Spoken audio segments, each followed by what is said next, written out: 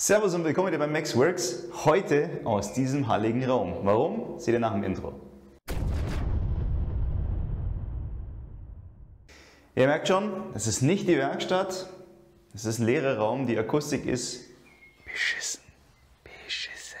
Aber okay, wir werden damit leben. Das Ganze äh, dreht sich darum, ich war jetzt ja auch länger nicht mehr, also es gab jetzt länger kein Video, das letzte, das ihr jetzt bekommen habt, ist, ist aber auch schon lange abgedreht worden.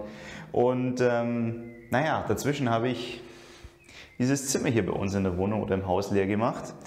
Ähm, weil wir brauchen dieses Zimmer jetzt für was anderes. Das war vorher im Büro. Jetzt kommt was Erfreuliches. Wir werden mehr und deswegen brauche ich dieses Zimmer. Und der Teppich, um den es heute geht, der liegt hier, wenn mich nicht alles täuscht, seit das Haus gebaut ist. Und deswegen nehme ich euch jetzt einfach ein bisschen mit, äh, wenn ich hier dieses Zimmerchen renoviere, umbaue, weil es gibt ein paar Sachen, was wir hier machen müssen. Wir fangen an mit dem Teppich, der muss raus. Ich weiß nicht, wie der Estrich drunter ausschaut. Werden wir rausfinden. Am Ende muss ich noch ausgleichen.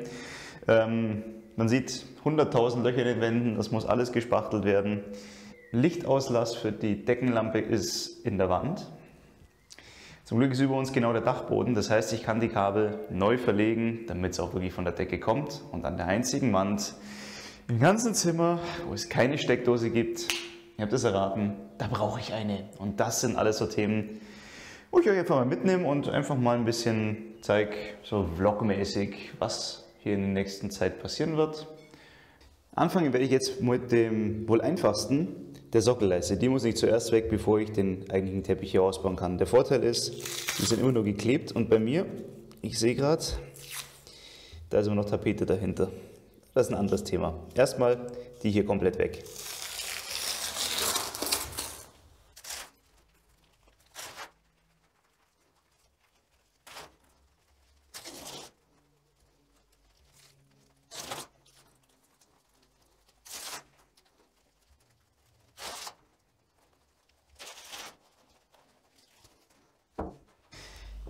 Jetzt, wo der einfache Teil geschafft ist, also das war jetzt ja wirklich keine Arbeit, geht es darum, erstmal herauszufinden, wie ist denn der Teppich überhaupt eingebaut.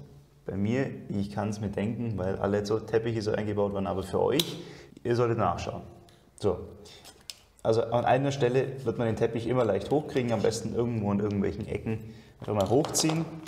Ich sehe schon, chemisch verklebt, das heißt, hier hilft nur Gewalt. Es gibt andere Kleber, die sind wasserlöslich, das muss man einfach mal ausprobieren. Und dann gibt es natürlich noch, wenn's, äh, gerade wenn es neu ist oder gerade im Büro so, das sehr gerne gemacht. Äh, das ist nur mit Klebeband, also mit diesem doppelseitigen gelben Klebeband verklebt. Dann geht es ganz einfach. In meinem Fall chemisch verklebt heißt für mich das Ganze mit Kraft und Gewalt rausreißen und hoffen, dass es sich überall löst, weil hier hatten wir das Problem, den Teppich nicht so leicht rausbekommen. Aber dafür gibt es Maschinen, die habe ich natürlich nicht da, deswegen hoffe ich, dass der jetzt rausgeht.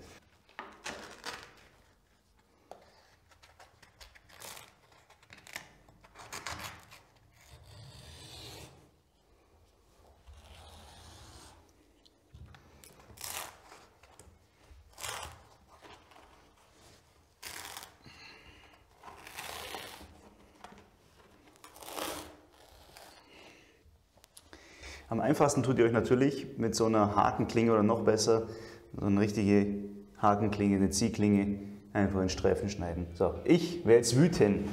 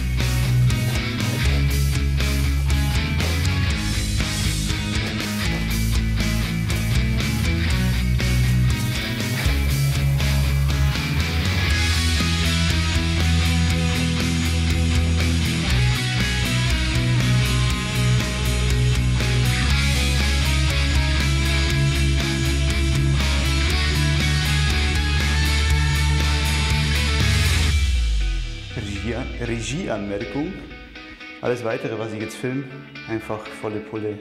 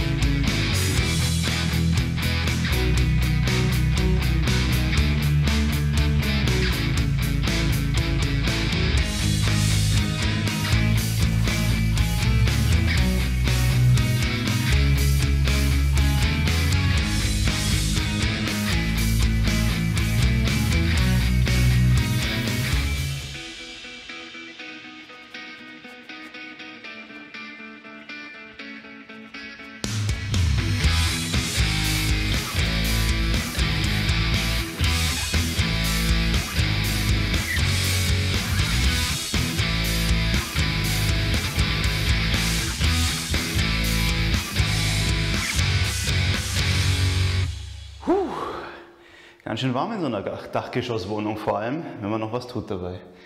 Und es Sommer ist. ähm, der Teppich ist raus, es ging erstaunlich gut, muss ich sagen, dafür, dass ich mit anderen Teppichen in dem Haus so gekämpft habe. Wenn es jetzt natürlich bei euch oder bei dir so ist, äh, dass der Teppich nicht sich vom Boden lösen mag, dann gibt es dafür äh, spezielle Maschinen, die hämmern mit einer kleinen Klinge wie eine Scharre, hämmern die immer bahnenweise den Teppich vom Boden runter. Das hilft einem dabei. Die gibt es im Baumarkt oder bei jedem guten Teppichhändler, kann man die, glaube ich, ausleihen. Und dann, wenn es nicht so einfach geht, dann hilft die. Bei mir gilt, unverhofft kommt oft. Der Teppich ist raus und, ich, und was muss ich feststellen? Da ist noch ein PVC-Boden drunter. Na gut, dann reiße ich den PVC-Boden auch noch raus, weil, und das zeige ich euch schnell, hier habe ich ihn schon angelupft, aber hier in der Ecke hinten zum Beispiel, man hört es, da ist er lose. Wenn ich da jetzt einen neuen Boden drauflegen würde, dann würde der immer schweben. Und das heißt, ich hätte immer irgendwo eine Bewegung im Boden, wo es auch mit dem Trittschall nicht so gut funktionieren würde. Was ich aber brauche, ist entweder ein vollflächig verklebter Boden, was der jetzt nicht ist, das ist dem Alter einfach geschuldet, oder, das haben wir hier, ich brauche den blanken Estrich. Da sind jetzt noch Klebereste drauf. Die kann man dann später mit dem Spachtel runterkratzen, was aber wahrscheinlich gerade bei solchen Flächen nicht mehr viel Spaß macht. Deswegen werde ich mir dafür so eine große wie ein Exzenterschleifer nur in viel größer für den Boden einfach mieten. Bis dahin werde ich mir jetzt hier noch den Boden hier rausreißen und mich daran erfreuen, dass hier noch so eine wunderschöne 80er Jahre Tapete sich dahinter versteckt hat.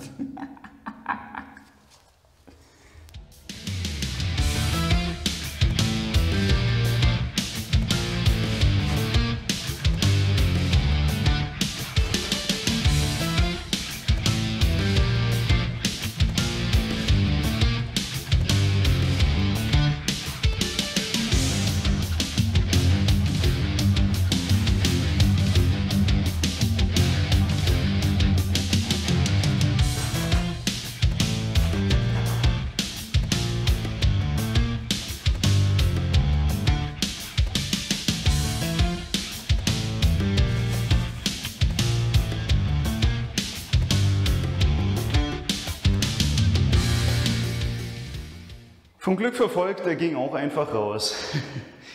er hat aber wesentlich mehr Kleber am Boden gelassen, als mir lieb war. Aber spricht ja für den Kleber, dass der Boden mal unten geblieben ist. Dann ist für mich heute Feierabend, weil morgen ist Sonntag, ich kann heute nichts mehr ausleihen. Ihr werdet es nicht merken, wenn es beim nächsten Mal weitergeht, außer vielleicht an der Tageszeit oder dass ich frisch geduscht bin.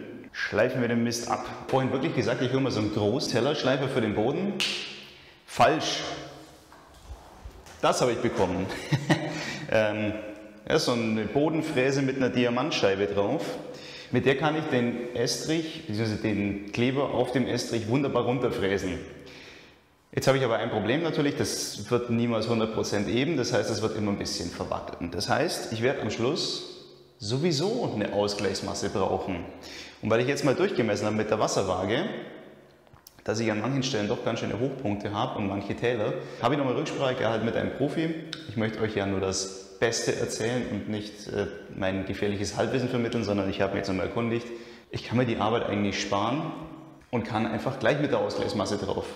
Aber wie das funktioniert, das seht ihr in einem anderen Video, weil ich höre jetzt hier auf, es bringt mir nichts. Ich zeige euch auf alle Fälle noch kurz in einer Ecke, wie die Fräse funktioniert.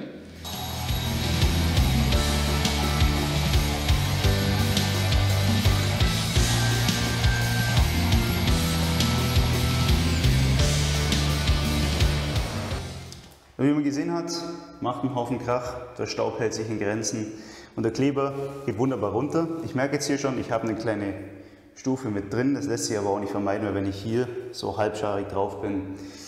Aber es funktioniert. Wichtig ist natürlich, aber das seht ihr im nächsten Video und in einem der nächsten Videos, der Kleber muss außerdem noch vorbearbeitet werden. Das kommt alles noch, das kommt alles noch. Und ansonsten sage ich, ähm, raus mit euren alten Böden und das nächste Video oder das übernächste Video schauen, dann zeige ich euch immer wieder einen neuen Boden vorbereitet. Boden raus ist irgendwie das Einfache. Naja, bis zum nächsten Mal. Abonnieren nicht vergessen, sonst verpasst ihr es. Bis dahin, Servus.